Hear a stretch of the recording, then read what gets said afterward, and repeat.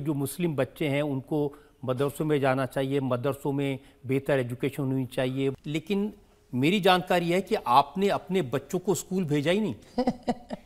आपने अपने बच्चों को घर में बैठा के पढ़ाया। साहब जब मैंने अपने बच्चों को घर में बिठा के पढ़ाया है मेरा पहला कारण ये था कि मेरे बच्चे रोते रोते कभी स्कूल नहीं जाना था मुझे। जब बच्चे हँसते खेल सकते हैं हँसते हँसते कैडबरी खा सकते हैं, हँसते हँसते सिनेमा देख सकते हैं, कार्टून देख सकते हैं तो हँसते हँसते बताइए पढ़ाई क्यों नहीं कर सकते? मैं 25-30 साल तक टीचर रह चुकी हूँ। तो मुझे हर वक्त ये सवाल था कि बच्चे हँसते हुए क्यों नहीं पढ़ सकते? और मैं जिस क्लास में भी जाके पढ़ाई करवाई बच्चों से, एक भी बच्चा आज तक रोया नहीं है। और दूसरी बात मदारसों का आता है तो उनके माँ बाप कहाँ इतने पढ़े लिखे हैं साहब? अगर होते तो आज क्या ये हालत होती?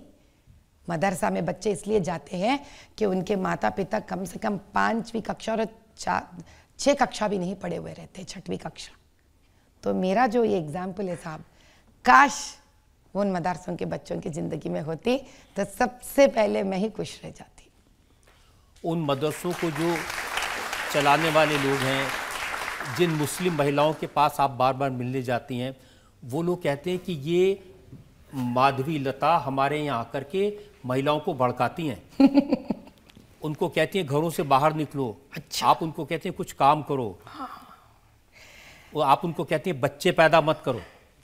साहब मैं आपके तीन सवालों का इसी सीक्वेंस में जवाब दे पहली बात तो यह है जिन मदारसों को मैं खाना भिजाती हूँ मेडिकल कैंप्स फ्री में करवाती हूँ उनको दवाइयाँ फ्री में देते हैं हम लोग और उनको रोज़ा के टाइम पे, इफ्तार के टाइम पे भी हम खाना भिजाते हैं ब्लैंकेट्स देते हैं, कपड़े सिलवाते हैं रेफ्रिजरेटर्स देते हैं, अलमारियाँ भिजाते हैं।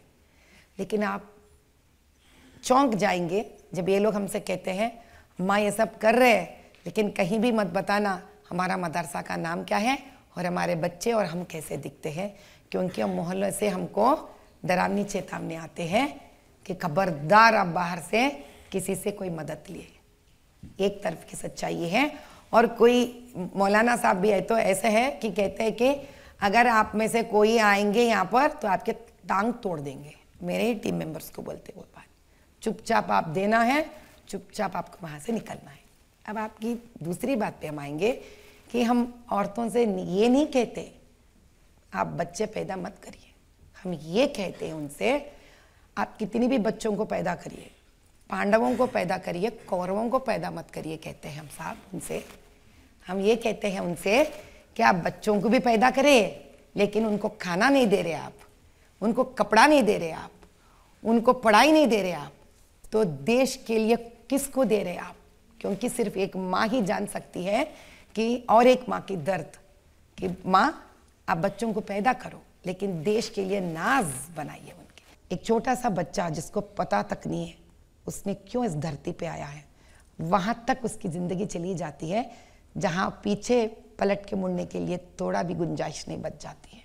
बस ये बात सिखाती मैं औरतों को जब आप ऐसी बातें कहती हैं तो वहाँ के लोग कहते हैं ये हैदराबाद को बदनाम कर रही हैं ओल्ड सिटी को बदनाम कर रही हैं। वहाँ की लड़कियों के बारे में आप कहते हैं यहाँ तो सिर्फ़ लड़कियाँ बेची जाती हैं। सब एक पंद्रह दिन की पहले की बात है। एक लड़की मिडिल ईस्ट से अपने मम्मा को अपने वालिदा को फ़ोन करी थी हैदराबाद को। मम्मा, आप अभी दावत दे दीजिए, वहाँ पर अगर पैसे हैं तो। आपकी बेटी को अट्ठारह बार शादी हुई है। ये सच्चाई है साहब। सोलह साल की लड़की को एक सत्तर साल की इंसान से शादी होता है अरब से। क्या लड़की अपनी घर की लड़की भी लड़की नहीं होती? ये मज़हब कहाँ से आया साहब? लड़की तो सभी की लड़की होती है, मेरे भी दो लड़कियाँ हैं। मजाल किसकी को ऐसा करे? मैं ये समझाती हूँ उस औरतों को। मैं अपनी लड़की को इक्कीस साल तक शादी ना करूँ। मैं अपनी लड़की को इतना अच्छा पढ़ा के बड़ा करूँ। एक माँ और एक माँ के बीच में ये मज़हब नहीं आता साहब। सिर्फ़ लड़की, प्यार, अच्छे ससुराल में जाए, एक शानदार, एक इज्जतदार लड़के से ब्याह करवाए, पढ़ी लिखी हो और उनके घर गृहस्थी अच्छी बसे। बस यही हम प्रार्थना करते हैं भगवान से। और आप चौंक जाते हैं। ऐसा बहुत सारे गलियाँ हैं, गरे हैं, जो पसमंदे के हैं, जिनकी आवाज़ चार दीवारों से बाहर नहीं निकलती है।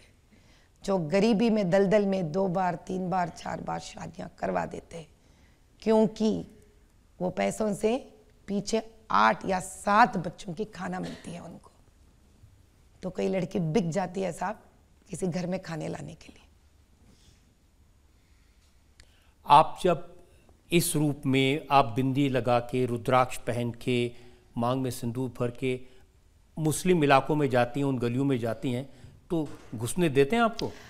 आठ साल से मैं खास कर कर इसी मुसलमान के गलियों में काम कर रही हूँ मैं।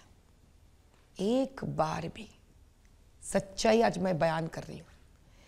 एक बार भी एक मुसलमान औरत या परिवार मुझसे ये नहीं कहा कि आप कैसे आ सकते हैं, ऐसे नहीं आ सकते। हाँ अब मुझे सच बात करना पड़ेगा। हमारे प्यारे असद जी के लोग आते थे, हमारे राशन का थैलियाँ ढूँढने के लिए। कौन है हिनू? कहाँ से आए नू क्या कर रही है सब? क्यों कर रही है सब? और अक्सर मेरे ड्राइवर्स डर जाते थे, क्योंकि सिर्फ़ मेरे साथ दो या तीन लोग आते थे मेरे साथ काम करने के लिए।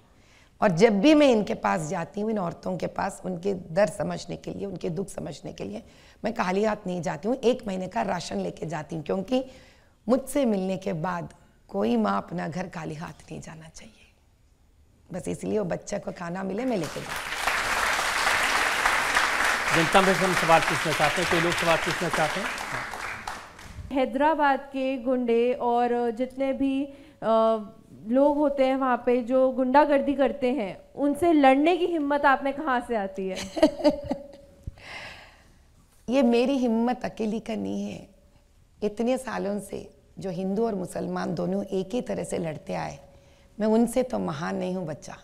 वही शायद मुझे हिम्मत दिए हैं। अगर यही सोचते जाएँगे इंसान तो क्या आज हम स्वतंत्र भारत देश में ऐसे बैठे हुए दिखते किसी ना किसी को आगे बढ़ना चाहिए? अगर वो मैं हूँ मैं अपने आप को भाग्यशाली समझ रही हूँ।